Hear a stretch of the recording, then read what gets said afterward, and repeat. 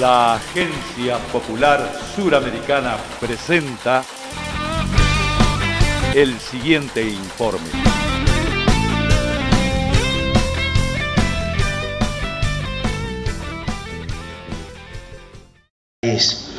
Porque esa es una gran mentira también, es uno de los grandes problemas de la clase dirigente de la Argentina. Se piensan que los profesionales solamente salen de la uva, que es lo mágico, que es lo sagrado. Y vos sos un profesional del interior, y sos un profesional de una provincia, y ni hablar si sos un profesional de una universidad de conurbano y parece que no existís.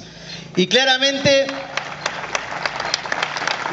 no es contra lo de la uva, pero claramente creo que en la etapa que viene, así como en esta última, que tiemble la corporación judicial, que vaya temblando la corporación educativa, ¿eh? la de los liberales. Cuando los radicales y los peronistas se llevan muy bien y se ponen de acuerdo para ser rectores y decanos, no es porque está bueno, ¿eh? es porque están discutiendo otras cosas en verdad. Y no son ni tan radicales ni tan peronistas. Los que están enamorados de su sillón y empiezan a ser pavos reales. Miren compañeros,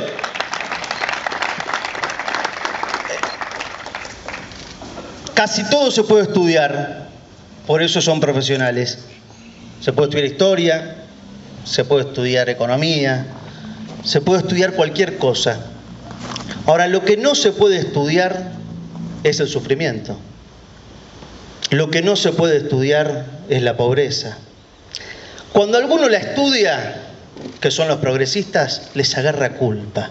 Entonces tiene esa manera de manejarse en la vida con culpabilidad y siempre terminar siendo funcionarios a la derecha. Nosotros los peronistas tenemos deuda con lo que, falta.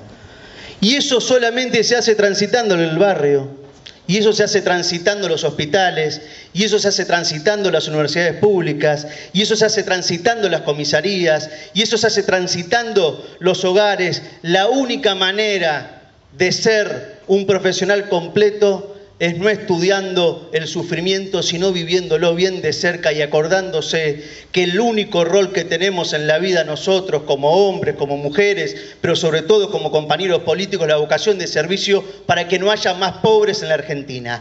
Esa es la guía que tiene que tener cualquier frente. Y eso se nota.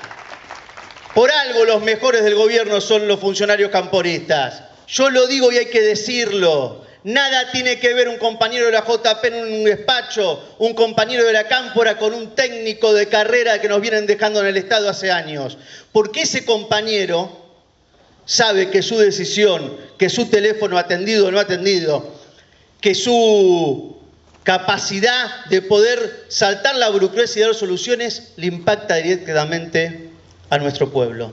Y por supuesto que a veces tenemos infiltrados. Este es un gobierno, lo tuvimos Alberto Fernández, gran profesional, gran burócrata de la UBA, gran garca.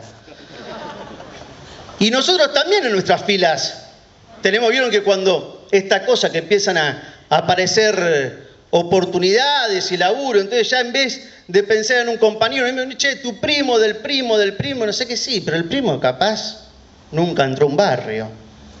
Y el problema no es que no entre un barrio en un lugar prejuicioso, el problema es que no va a tener móvil para levantarse todos los días a la mañana, ir a laburar todo el día, no robar, ser honesto y ser eficiente. Eso uno no lo hace porque es lindo entrar a los ministerios a la mañana, eso uno lo hace porque sabe que está cambiando la vida de los más humildes. Y eso es lo que hace diferente a la cámpora y a todos los militantes de este proyecto político de otros.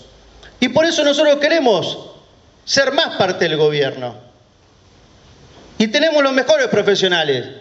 Pero Mariano es el mejor presidente de aerolíneas no porque siempre estudió de avioncitos, sino porque siempre se preocupó por la gente. Y Guado es el mejor consejero de Cristina no porque fue a Harvard, sino porque empezó militando en hijos. Y Axel es lo que es porque estudió la economía para liberar a la gente, no para cagarla. Entonces, si cada uno de esos ejemplos los vamos bajando a cada uno de nosotros y los llevamos hasta el último peldaño del compañero que atiende en la oficina de ANSES, ese compañero que recién entró, que terminó su carrera, pero ese compañero es un militante, seguramente vamos a tener un Estado mejor. Y en eso de tener un Estado mejor, tenemos que hacernos cargo de los desafíos generacionales. Y nosotros tenemos un desafío generacional. El desafío generacional de los jóvenes profesionales y no del 45 fue la incorporación de los obreros del pueblo humilde de la política argentina y al pueblo argentino. Y ese desafío lo llevaron adelante.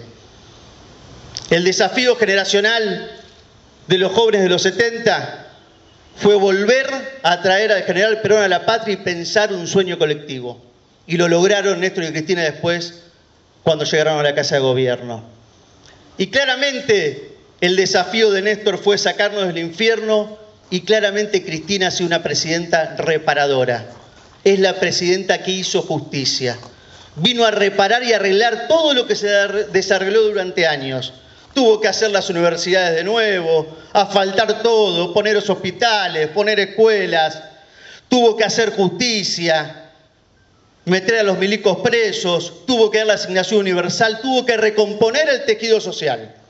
Y ahora estamos en la oportunidad que nos da Cristina de un salto en calidad en la política argentina de poder ir hacia la felicidad completa. ¿Y saben qué? Aunque todos piensen que porque no tenemos candidato no vamos a poder, aunque todos piensen que porque Cristina no puede ser, no vamos a poder, yo les digo que ahora sí viene la etapa nuestra y vamos a poder con cualquier candidato. Y vamos a ganar con cualquier candidato, porque lo que va a ganar es la ideología, la militancia y el proyecto. Pero en el mientras tanto viene la etapa de la sinceridad. Todos ustedes son profesionales que andan por los pasillos de sus hospitales, universidades, de sus juzgados hay que empezar a decirle las cosas a los tipos, porque se están poniendo locos y van a ser violentos. La tapa de la sinceridad en el peronismo, que no vale la pena con cualquiera. Y la tapa de la sinceridad, por ejemplo, en la justicia, es decir que esos jueces federales son empleados de las corporaciones y son mucho más ladrones que muchísimo más en la Argentina. Hay que empezar a decirlo. No puede ser que los 4.020 vivos que están en el listado de Cristina y que hay muchos más, que son esos vivos que tienen la plata afuera, que son esos vivos que laburan en cuatro manzanas nada más, no van a Jujuy, no van a La Rioja, no van a San Martín, no van a ningún lado, van a la City, ahí, cuatro manzanitas, todo el poder, toda la plata, y son los verdaderos dueños de los jueces, son los verdaderos dueños de algunos científicos, son los verdaderos dueños de los medios. Y esos tipos saben que ahora Cristina empezó la parte fundamental de nuestra revolución, que es que los vamos a desenmascarar, que les vamos a decir a la sociedad que esa plata que está afuera era para hacer más cosas acá. Y les vamos a hacer traer la plata, aunque no les guste el presidente o la presidenta que haya. Ahora, para eso nos tenemos que animar y ir a fondo. No puede ser que en un mismo diario la tapa diga que Cristina es chorra, pero que Daniel es el mejor gobernador y Florencio el mejor ministro y el otro no sé qué. O es para todos o no es para nadie. Y esto no es de un lugar de violencia, es de un lugar de amor.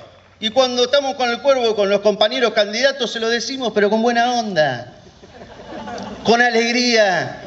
Porque acá cuanto más Cristina, más vas a ganar. Así que muchachos, compañeros y compañeras, nosotros les agradecemos muchísimo que sean ustedes los que hayan podido poner el esfuerzo en estudiar, que hayan podido terminar sus carreras, que esas carreras sean en torno a la militancia. No sé si hay algún médico por acá. Acá. No lo aguanto más a Manes Radical, que es el mejor. Tenemos, nosotros tenemos que ser los mejores. Los mejores científicos, los mejores abogados, los mejores jueces tienen que ser los nuestros, los mejores fiscales, los mejores trabajadores sociales. Todo bien con, ¿cómo se llama este Bernardo Cliver? Está todo bien, yo la quiero a Roberta, que anda por ahí. Avancemos un poco más, compañeros. Vayamos más a fondo. Todos los días levántense pensando que hay que defender a Cristina, pensando que hay que convencer y pensando que no importa el color del candidato que venga. Discutamos con ustedes la plataforma de gobierno, que nos pongamos todos de acuerdo, qué pensamos de cada tema, aporten las ideas, comprometámonos con la sociedad, tengamos un proyecto político, una doctrina y el candidato y el color es secundario. Muchas gracias compañeros.